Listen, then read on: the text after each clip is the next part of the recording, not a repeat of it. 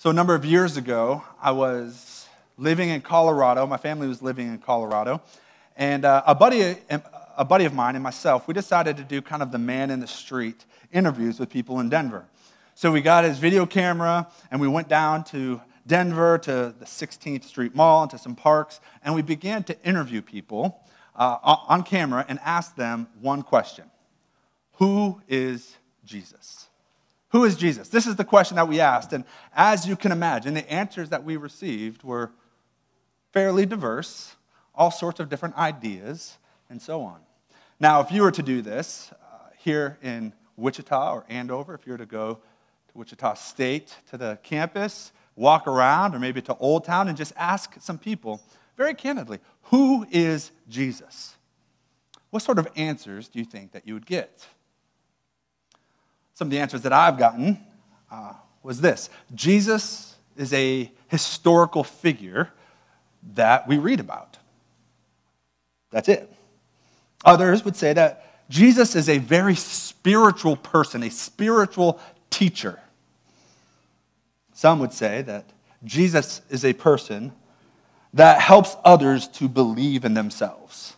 Right? Jesus helps us to believe in ourselves. Others said that he is an enlightened figure, he is a giver of wisdom, or he is the ultimate archetype of what humanity ought to be. Now, if you were to ask another 10 people or so, you probably get 10 more answers of who Jesus is. Jesus has become this figure that we've kind of molded in our minds. Uh, we've determined, and ultimately, we've kind of uh, formed Jesus after our own image rather than recognizing it's the other way around. So, as important as these questions are for us to be able to ask, perhaps what is more important is what if somebody walks up to you and asks you the question, Who is Jesus? How would you answer? How would you respond to this question? Who is Jesus? Now, according to the 2020 State of Theology survey done by Ligonier Ministries, they do the survey every two years. If you were to go out in the streets and ask people who is Jesus, 52% of Americans would say that Jesus is a good teacher, but he is not the Son of God. 52%. The people in America would say that Jesus is a good teacher, but he is not the Son of God. Over half the country denies or rejects the claims of Christ. They deny or reject what Jesus says about himself, who he claims to be. They deny or reject that Jesus is the Son of God. Now, this is not an in the weeds sort of Christological discussion. This is not a deep theological claim to make that Jesus is the Son of God. This is Christianity 101, right? This is the absolute foundation of the faith that Jesus Christ is the Son of God. This is a question that church throughout history has made abundantly clear that we have always held as a foundational truth that Jesus is the Son of God dating all the way back, certainly, to the scriptures. But the earliest creed that we have, and throughout history, we have creeds and confession that claim over and over and over again Jesus is the Son of God. But the earliest one that we have is the Apostles' Creed. Dates back to the second century. This is one of the oldest foundational documents, creeds of the church. This is one of those creeds to say, if you agree with the Apostles' Creed, we, are, we can be in fellowship with one another. If you disagree with the Apostles' Creed, then you are outside of the faith. It is that basic of a creed. It is the borders, if you would, in creedal form of what the Christian church believes. Now, in the Apostles' Creed, it says this it begins this way I believe in God the Father Almighty, maker of heaven and earth, and in Jesus Christ, God's only Son, our Lord. From the very beginning, the Christian church has held to this truth that Jesus Christ is the Son of God. This belief that Jesus is God's Son is the foundation of our faith. Yet, 50%, 52% of our country rejects that. They do not believe this to be true. This is concerning, it should be eye opening. But what is more concerning the fact that the State of Theology survey not only surveys people on the street, but it also surveys evangelical churches. They go into the church and they ask this same question Is Jesus Christ the Son of God? What do you believe about Jesus? Who is Jesus? And within Bible believing evangelical churches, 30% believe that Jesus is a good teacher, but not the Son of God. 30% believe that Jesus is not the Son of God. 30% of evangelical churches deny the foundation upon which we stand. This means that only 70% of professing evangelical Christians in America today believe that Jesus is the Son of God. Seven out of 10. In other words, basically one third of the evangelical church is completely heretical and apostate. This is a stomach turning figure. This is an eye opening stat. And at the same time, it's incredibly humbling. It's incredibly humbling. And if we are honest with ourselves, this figure should not surprise us. If we're really honest, when we, if we were to look back at evangelicalism today, this number should not surprise us. The reason that should not surprise us is because the evangelical church, for quite some time, has been completely theologically and biblically malnourished. It has become completely famine. The evangelical church has, as Hebrews says, become dull of hearing in Hebrews chapter 5. Literally, this means they become dumb to their hearing. They don't hear, they choose not to hear, they become dull or dumb. We have fed ourselves theological formula, Enfamil, and Gerber baby food rather than feasting on the meat of God's word. And as Hebrews says, everyone who lives on milk alone on the milk of the word is unskilled in the word of righteousness, for he is a child. The evangelical church is so malnourished in the truth of Christ that we have become weak, emasculated, woke, and supporters of all sorts of evils.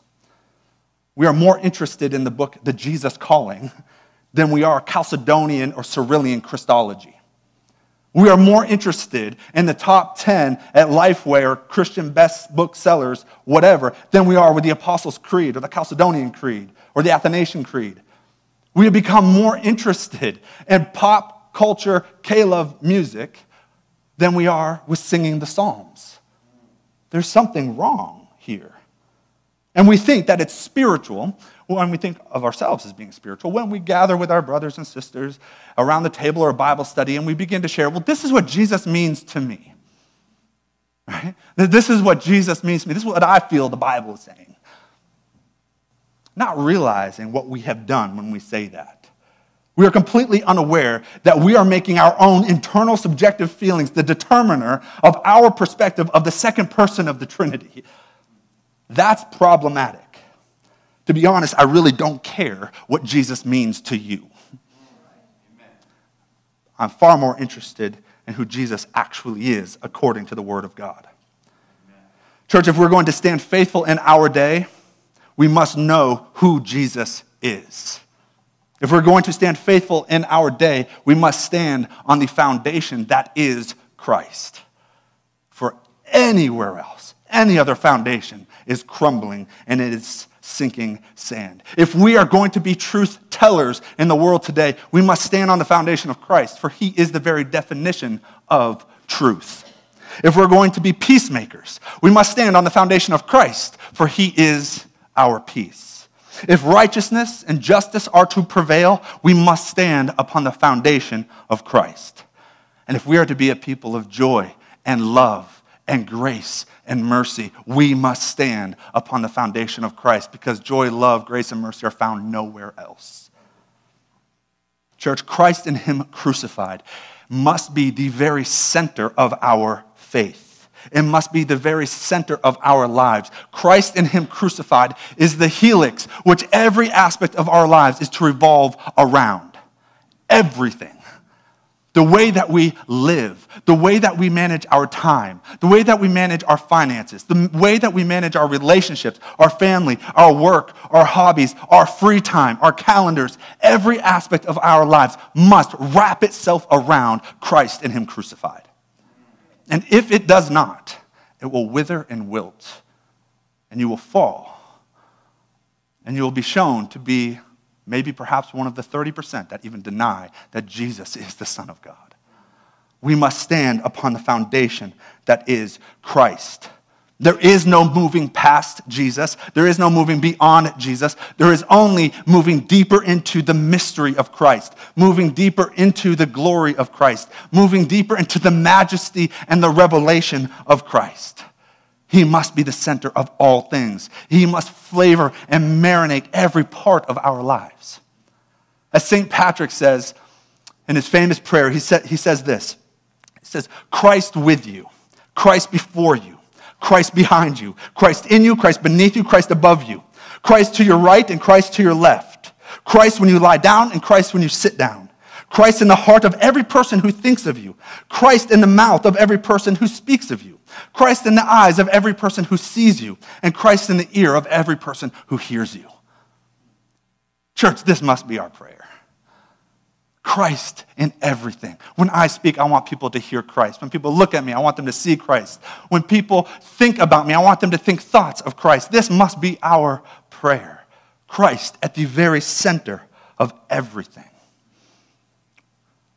We must be a people who are marked by being absolutely obsessed with Christ. He must be our obsession. May we be a people who live and move and find our being in Christ. And may it be that we stand so firmly upon the foundation that is Christ in our lives, that He permeates every aspect of our lives, that when somebody comes up to you and says, Who is Jesus? Your response would be, Well, how much time do you have? How much time do you have? May we be a people who stand so firmly on the foundation of Christ that if someone asks, Who is Jesus? you might look at your watch and say, Buckle up, because I've got a lot to say. You want to know who Jesus is? You want to know what I think about Jesus? Let me tell you. Let me tell you about how he eternally existed within the triune God, the eternal Word, who is one with the Father in substance and in nature. Let me tell you about Jesus, how he is the spoken word of creation, and how by him and through him and for him all things exist. Let me tell you about the one who made covenant with Adam, with Noah, with Abraham, with Moses, with David, and with me. Let me tell you about this one. Let me tell you about the one who parted the Red Sea. Let me tell you about the one who caused the mountain to shake before Elijah. Let me tell you about the one who brought the dead back to life. Let me tell you about the one who stood with the three faithful in the fiery furnace. Let me tell you about the one who closed the mouths of lions. Let me tell you about the one who went to war and defeated the gods of Egypt. Let me tell you about the one who brings peace, shalom, wholeness to the world. Let me tell you about the one who in himself is the very definition of beauty. Let me tell you about the one who is eternally faithful, who has storehouses of mercy the one whose love, Hesed love, extends to a thousand generations. Who is Jesus? Man, let's have an answer. Let us have an answer. Church, it is not, or church, to not have an answer to this question. If we do not have an answer to this basic question, who is Jesus? Is to build a house upon the sand, and I guarantee you the storms are coming and the house will fall. We must stand upon the foundation of Christ. We build on the foundation of Christ. Who is Jesus? This is the most important question that could possibly be asked. And it is the most important answer that any one person or the world will ever hear.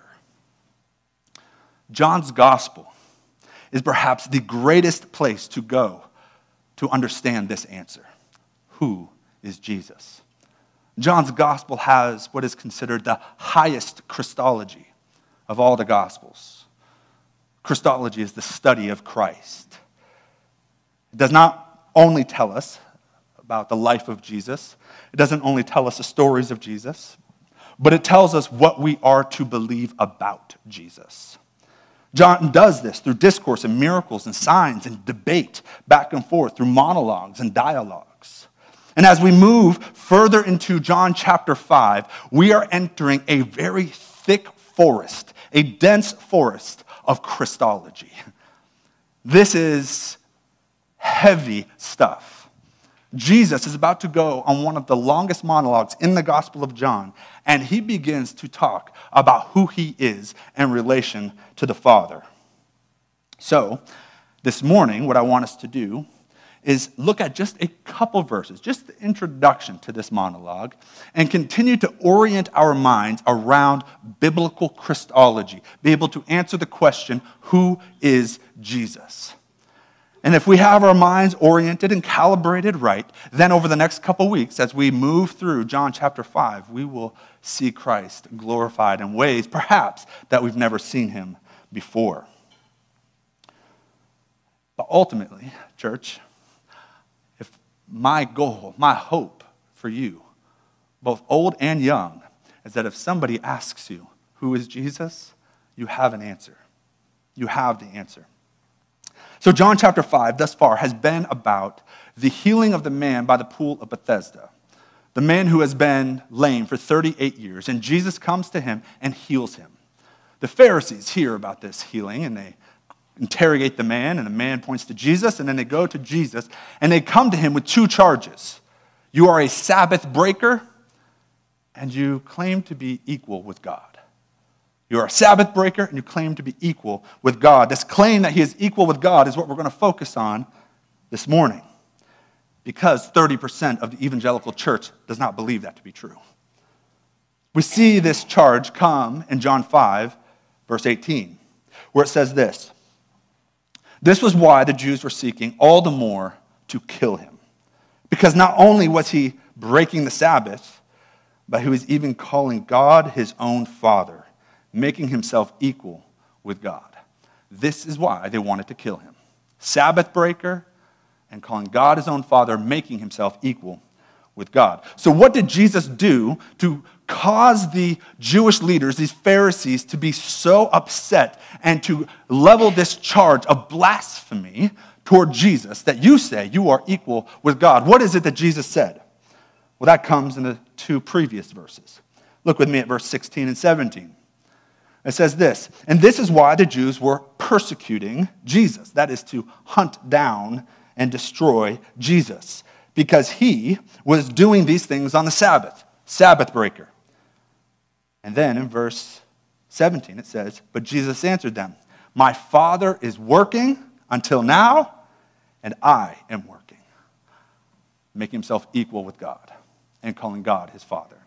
That is enough to cause the religious minds of the Pharisees to have an aneurysm. It is enough to make them so angry that all they want to do is destroy Jesus. You do not say that. You do not say that you are equal with God. There is a problem here. So, again, for us to understand this, for us to wrestle through this Christology, we have to ask the question In what way is Jesus equal with God? In what way is he saying, when he, when he says, My Father is working until now, and I am working, is he declaring that he is somehow equal with God? Is God still working? You say, Absolutely. You see, we are not deists. Deists believe that God created the world, he wound it up, and he set it loose, and he stepped back and just watches it unfold. This is what the deists believe that God is real, He is true, He is creator, but He's not sustainer. He is not involved in the everyday workings of our lives or of the world. However, we reject that. We say, no, no, no. Deism is false. We believe that God not only created the world, but that He also sustains the world. After all, who is it that makes the sun rise and makes the wind blow? Who brings in and pushes out the tide? Who gives birds songs to sing and who causes waves to roar and fish to swarm? Who sends the stars throughout the sky and foxes to their holes? Who sustains every breath that you are breathing right now? God, Christ. He is still working. You see, the Sabbath rest of the seventh day indeed says that God was resting, but we know that what he was resting from was his creative work of the first six days. And he does this as an example for us. So we know how to rest after working. However, this does not mean that God completely disengaged himself from his creation. No, he is still involved. He is still intimately involved, far more than we realize, in sustaining and holding things together. In fact, Hebrews 1 3 says this speaking of Jesus, he is the radiance of the glory of God, the exact imprint of his nature, and he upholds the universe by the word of his power. He upholds the universe by the word of his power. So Jesus says that the Father is working, and so Jesus is working. He does what the Father does. If the Lord is working, then he is working. If the Lord is about, or if the Father is about bringing about a new creation, even on the sixth day of the week, then Jesus is about bringing forth a new creation, even on the sixth day of the week. Now, this really upsets the Pharisees. So much so that, they, again, they want to kill him. And first, the first offense is the fact that Jesus calls God his Father. This is completely offensive to the Jewish sensibilities. Only about four times in the whole Old Testament is this phrase used of somebody calling Yahweh their Father. And those four times are pointing to Christ who is to come. Right? This is not something that was common. People did not talk this way, which is why the Lord's Prayer was so incredibly uh, controversial in his day when he teaches the disciples how to pray. When you pray, pray like this Our Father who art in heaven I was like, whoa, you don't do that. You do not call him your father. And then the second reason they were so upset is to say that if God is working, therefore I am working. This is to say that you are doing what God is doing. This is to say that you are equal with the Father. This is problematic. Now, at this point, Jesus could have eased the tense situation, right? We know that they want to kill him. Then we know that they're hunting him. They want to destroy Jesus for these claims. And he could have easily backed off just a little bit uh, and said, Whoa, whoa, whoa, I'm, I'm not saying I'm equal with God. This is, in fact, what the Arians said he did. Arianism is an ancient Christological heresy, which we'll get into in a little while. But they said, no, Jesus actually tried to back away from this claim that he is equal with God. However, that's not true. In fact, in verse 19, we see Jesus double down on this very fact that he is equal with God. Look at verse 19 with me. It says, So Jesus said to them, Truly, truly, I say to you, the Son can do nothing of his own accord, but only what he sees the Father doing. For whatever the Father does, the Son does likewise. Now, the Pharisees are really upset. Now, this, this is the start of this very long, dense monologue about Christology, but we're just going to focus here this morning. And we want to ask the question what does it mean that the Son can do nothing of his own accord, but only what he sees the Father doing? How do we understand this? How is he saying that I'm unified with the Father, so much so that I can do nothing on my own, but only what I see the Father doing? What sort of things does Jesus do? What sort of things does he do? And can he only do those things after seeing the Father likewise do them? So, if, if we're to try to break this down and, and really understand what's going on here in verse 19, let's, let's look at creation as an example. Right? Jesus does all sorts of things, but John chapter 1 verse 3 tells us explicitly that Jesus is responsible for creation. John 1 3 says, All things were made through him, and without him was not anything made that was made. Pretty straightforward, right? Jesus is the creator God. So, if we think about creation and say, okay, Jesus can do nothing on his own accord, but only that which he sees his Father doing, how do we understand creation? How is it that the world came into existence? So, when it comes to creation, what does he mean? Well, some would like to suggest that Jesus does nothing on his own, but that he responds to what he sees God doing. So if it was creation, or even think about a, a building project, maybe God is the architect. He writes the blueprints, he gets all the permits, he puts everything in place, and then Jesus responds by actually constructing the building. Is this what John is talking about? Is this what Jesus is talking about? No. Jesus does not respond to the Father. Others have suggested that Jesus is imitating the Father. That Jesus sees the Father do something, and then Jesus likewise imitates what the Father has done. So when it comes to creation, it would be like this that God, the Father, creates something, creates the heavens and the earth, and then Jesus imitates him by making the heavens and the earth. An imitation, heavens and earth, as if Jesus is the greatest mimic of all time. That's clearly not what's going on here. And we know that because of what John 1 3 says. Everything was created through Christ. And without Christ, nothing has been made that which has been made.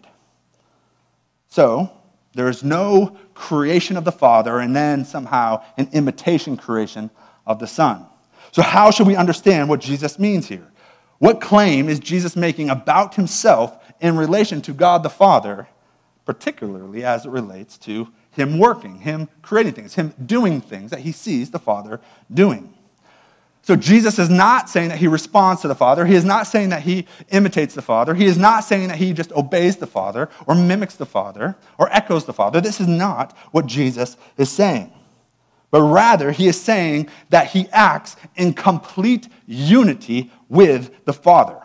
He is saying that he is one with the Father, that he is equal with the Father.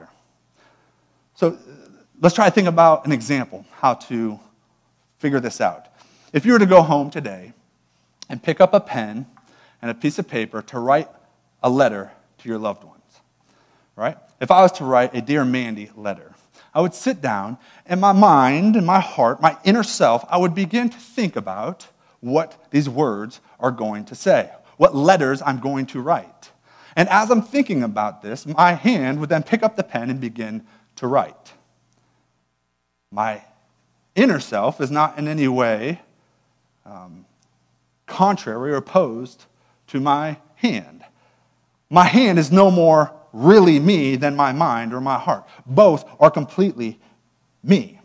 Your hand is no greater than your mind, and your mind is no greater than your hand. Your mind is no more you than your hand is you. Both your hand and your mind are of one substance, they're of one nature. It is together. You are wholly one person. So, what Jesus is saying, in keeping with the analogy, is that he is like the hand, and he does nothing apart from the mind, which is the Father. The hand never writes a single letter that the mind did not determine or decide to write. The mind is not thinking of writing one letter, and the hand is writing a separate letter. So when Jesus says, I do nothing apart from the Father, that's basically saying, as one, the hand I construct, I put my hands to, I do absolutely nothing that is contrary, opposed to, or outside of the Father, outside of the mind. For how can it? It is of one substance. So is Jesus equal with God, as the Pharisees claim? Yes. But not only that, he is God. Again, contrary to what 30% of the evangelical church seems to believe. For the Jewish leaders and for us to know, to not know, or to not understand who Jesus is, is to not know and not understand who God is. For they are one. The foundation upon which they, those Jewish leaders, were standing was on a fault line. It was shaking as Jesus claimed without hesitation to be one with the Father. Now, if we follow the story of Jesus throughout the Gospels, we will say that this sort of, or we'll see that this sort of confusion is rampant throughout the stories. Nobody understands who Jesus is. The disciples don't get it. They go throughout those three years of ministry not really grasping who Jesus actually is. The Pharisees certainly don't understand it. Jesus' own mother does not understand it. His brothers don't understand it. The crowds don't understand it. We don't know who Jesus is until the cross and the resurrection. In fact, throughout the, the, the Gospel of Mark, there is a, a theme, a story of people not quite understanding who Jesus is. There's these testifying to who he is, but they all come short. But the final testimony that we see is from the Roman centurion who was standing at the foot of the cross after Jesus gave up his spirit and the temple of the curtain, or the curtain of the temple, was torn in two. Yes, the curtain of the temple was torn in two, and he looks in and he sees, and then he proclaims the truest testimony in the Gospel of Mark. Truly, this man was the Son of God. We don't know who Christ is apart from the cross and apart from the resurrection. For the resurrection and the cross is what allows the world to see Jesus for who he truly is. It is on the cross and the resurrection that vindicates Jesus' claims to be God. It is the cross and resurrection that pulls back the veil and allows the world to see Jesus as the true King, as the Savior of the world, as God in flesh. And this is why these 12 seemingly cowardly followers, disciples of Jesus, after they see the resurrection, are transformed into courageous, bold proclaimers of the gospel, so much so that they go to their death proclaiming this message. From cowards to heroes. Why? Because they finally saw, they finally understood Jesus is God. And the resurrection and the cross is what demonstrates this beautiful truth to the disciples, to the world, and to us. He rose again the, as the divine and eternal king to rule the nations. So, this question, who is Jesus, is the most important question one can ask. And again, because the answer is the only answer the world needs to hear. The wrong answer leads to worlds of dysfunction. To get Jesus wrong is to get everything wrong, right? To get Jesus wrong is to get everything wrong. Where we see dysfunction and evil in the world, we see it because Jesus is not believed to be the Son of God. Where we see dysfunction and evil in the church, we see it as a place where the church doesn't believe that Jesus is the Son of God. If the entire Christian faith does not wrap itself around Christ and Him crucified, then the entire faith is doomed to wither and wilt and fall. If the world does not wrap itself around Christ and Him crucified, the world likewise will wither and wilt and fall. Every aspect of life and faith must wrap itself around the cross of Christ. For if the cross is not central, if it does not stand at the very center of your life, again, if your life is not wrapped around Jesus and Him crucified, then everything is gone. Everything slips away. If the cross is not central, then the divinity of Christ is gone. We have no reason to say that He's the Son of God if the cross is not central. The hope and peace of God's kingdom will perish. The new creation which is here present, will not be present. It will be somewhere in the future. Because Jesus, or the, Paul says that if you are in Christ, then you are a new creation. But if Christ is not central and you're not in him, then there is no new creation. Everything revolves around Christ and him crucified. If the cross is not central, then every part of our faith dissolves for we are still in our sins, and Christ was nothing more than a good teacher. So, I want to ask this question again Who is Jesus? Who is Jesus? Do you see him, church? Do you see him as 100% God and 100% man? Do you see him upon the cross, the God man, the unique one who is able to bear your sins and bring you into the glory of God?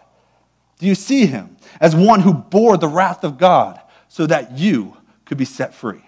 Do you see him as the victor, the one who uh, upon the cross conquered Satan, sin, and death and freed you from the dark powers of this world that would hold you condemned?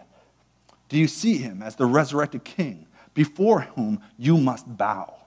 Do you see him now sitting at the right hand of the Father, ruling and reigning? And he will continue to do that until all the enemies are brought under his feet as a footstool. Do you see him as the very foundation of your life? Do you see him as the chief cornerstone of your entire existence? Church, we must see Christ this way. For this is who he is, and to see him in any other way is to be delusional. From day one, the church has had to defend the faith around this question who is Jesus? The earliest attacks upon the church were attacks against who Jesus is. Now, there are all sorts of ancient Christological errors and heresies that the church has had to deal with. Ebionism was one of them in the first and second century. Ebionism was this Hebrew sort of flavor of Christianity, but they actually said there is no way that Yahweh, the Old Testament God, would actually dwell in flesh with man. So what they, they said is that Jesus is actually not divine at all, he's just a good teacher. And by his own righteousness, he has kind of earned his place as a great example for the church. They did not believe that Jesus was the eternal Logos, word, or wisdom embodied in flesh.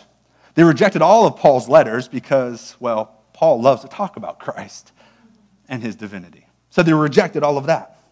Not only that, you had Docetism, right? Docetism was a theological outlook in the early church that maintained that Jesus did not actually come in the flesh, but he just appeared to be in the flesh.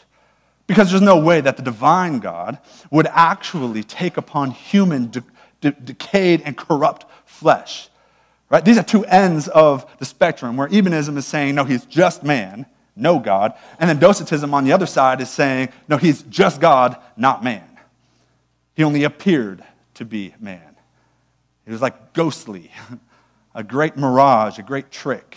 That when you saw him suffer and get tortured and crucified, when he hungered, all of these were just what it appeared to be. It didn't actually happen.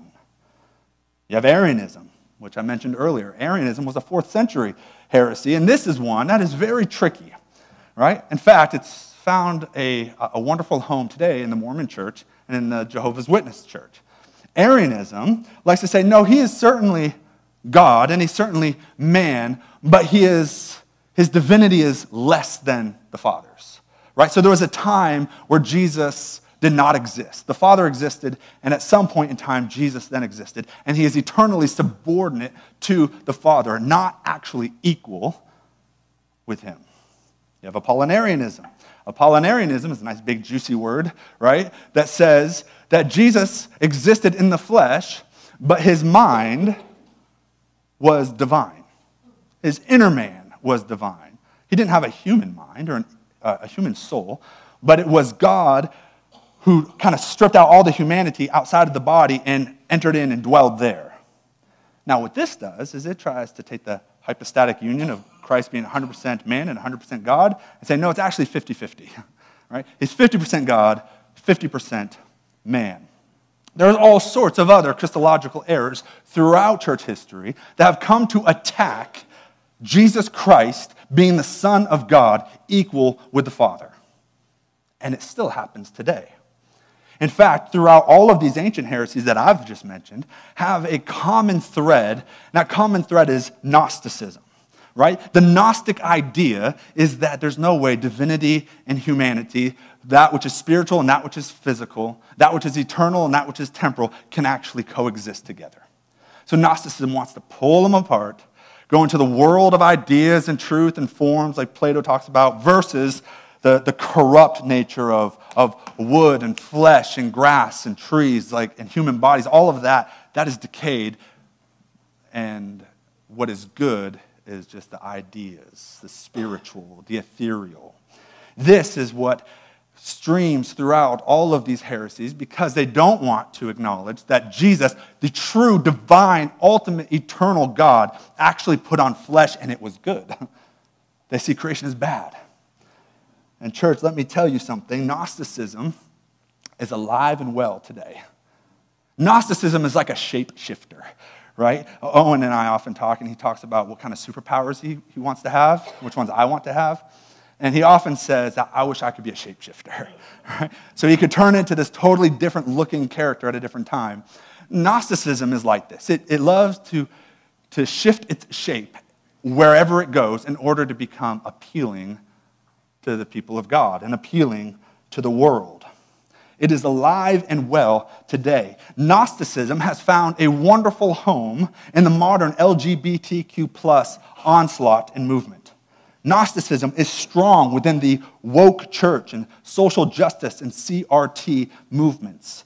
Gnosticism is alive and well within evangelical Bible believing churches, which is why 30% of evangelicals do not believe that Jesus is actually the Son of God. Because Gnosticism has gotten its way in there and it begins to pull apart what God has put together. The evangelical church seems to have an allergy. It seems to have an allergy for the external means of grace. Rather, we like to focus on the subjective, internal feelings of faith. Okay, let, let me say that again. The, the, the, evangelical church seems to have this allergy. We're allergic to the physical, to the external means of grace, but rather we love to think about our walk with God as being completely internal, right? Internal, what I feel, what I think, what I believe, and not what is outside of us. Phillip Cary wrote, the techniques, speaking of the new evangelical theology, the techniques all, all have the characteristics that they turn you away from external things like the Word of God, Christ in the flesh, and the life of the church in order to seek God in your heart, your life, and your experience. Underneath a lot of talk about being personal with God is a spirituality that actually leaves you alone and with yourself. I want to read that one more time because this is really important for us to hear. The techniques of the new evangelical theology all have the characteristic that they turn you away from external things like the Word of God, Christ in the flesh, and the life of the church, in order to seek God in your heart, your life, and your experience. Underneath a, uh, underneath a lot of talk about being personal with God is a spirituality that actually leaves you alone and with yourself. Church, we are never to dive deeper into ourselves to try and find hope or comfort. That is not what we do, but that's what the church loves to tell you to do. We never are to dive deeper into ourselves, our feelings, our experiences, our own ability to, to, to hold on to an idea to find hope or comfort. We are, to, we are called to go outside of ourselves to the cross of Christ and find our hope and our comfort there. We are not called to dive deeper into ourselves to find love and acceptance. No. We are to go outside of ourselves to the cross of Christ, to the body of Christ, the church, to his word, to the waters of baptism, to his table. This is the means of grace that God has given to comfort and encourage his people. This is how we know we are his not by this internal subjective feeling. I, I cannot tell you how many conversations I've had and how much I have wrestled with this. That my internal feelings of how much do I love, with God, love God just wanes back and forth, and I feel like I'm not a good Christian. Oh my goodness, I have no hope, I have no comfort. So I, I go in and I try to convince myself. That is not where my hope, my comfort, or love or acceptance comes from. We come to Christ and His Word, the crucified Christ, who died on a cross, who physically bled for us, who physically gives us a meal that we come to every week, who physically dumps us into the waters of baptism, who physically has given us and speaks to us His Word, who has physically given us His body, the church, to commune with, to do all the one another's with. Gnosticism would see all of this go away as being inferior. But these are the means of grace that God has given us. You see, the world looks for definitions of love within themselves. What is love? We go inside and we try to figure it out, which is why the LGBTQ plus movement is finding its way into the church because this is what the evangelical church has been doing. going internal, trying to find out what true love is. Yet every description we have of love should be wrapped around the cross of Christ. Crucifying our own desires is love. The woke movement is looking for justice and peace within the self. Yet every description we have of justice and peace should be wrapped around the cross of Christ. Justice and peace was accomplished on the cross. Without the cross being central, we don't know what love is. We do not know what justice is. We do not know what righteousness is. We do not know what peace is. And certainly we should not look within ourselves to try to find them. We look to Christ. To know what justice is, to know what love is, to know what peace is, we go to the author of these things. We go to the one who rules and reigns, the one who put on flesh completely God, completely man. We go to the one who is the answer or the question that we first asked with, and we answer it Who is Jesus? We go to him. For Jesus is the source of all that the world needs. Jesus is the foundation of love. He is the pillar of justice and truth. He is the eternal spring of joy. He is the everlasting fount of peace and He is the all time objective standard for what is beautiful. Church, we must hold to this Christ. We must stand upon this foundation. We must never go back to drinking the milk of the Word, but we must always be moving further and deeper into the depths of Christ. May we stand firm on this unshakable foundation of Christ and His kingdom. Hebrews talks about Jesus' foundation, his kingdom, as being an unshakable kingdom. And over the last year and a half, the Lord has taken hold of this world and he has shaken it a little bit. And what we see are kingdoms crumbling, convictions falling. We see people losing their minds, living in fear. And, church, if you have experienced this, then come back and stand upon the foundation of Christ because it is an unshakable foundation. It is one that we live in with confidence and boldness. We do not need to fear. We do not need to be afraid or anxious for anything, for He is the foundation of the unshakable kingdom. And may we always be ready to give an answer when the world asks, Who is Jesus? Let's pray. Lord, we thank you that in Christ you have given us hope, love, joy, peace, goodness, justice, mercy. Lord, you have poured yourself out in Christ upon us. Lord, you have brought us into your unshakable kingdom. Lord, you have ministered to us through your word.